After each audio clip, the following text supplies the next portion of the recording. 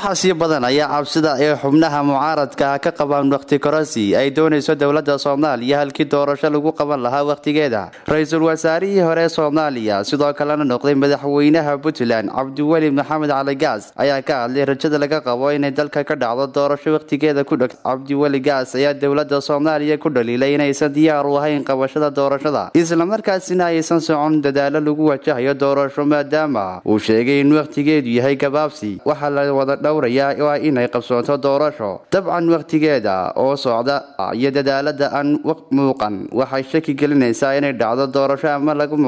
lagu qabto. Wakhtigeeda ayuu yidhi cabdiweli gaas shacabka soomaaliyeed ayaa ugu baaqay inaysan marnaba aqbalin wakhti kororsi iyo dib u dhac lagu sameeyo doorashada la filayo inay dalka ka dhacdo labada kun iyo koob iyo labaatanka dowladda soomaaliya ayaa dhowr jeer lagu eedeeyey inay qorshaynayso wakhti kororsi halkii laga filayay inay dalka gaarsiiso doorasho qof iyo hal coda inkastoo ay sii badanayso cabsida ay qabaan xubnaha mucaaradka haddana madaxweynaha soomaaliya maxamed cabdilaahi farmaajo ayaa sheegay xilli uu seexaxay sharciga doorashooyinka in dulku gelayo doorasho. Madaxweyne maxamed cabdilaahi farmaajo ayaa sheegay in doorashada labada kun iyo koob iyo labaatanka aysan dib uga dhici doonin xilligeeda. Xamse muuse cabdi dalxa telefishinka caalamiga star t v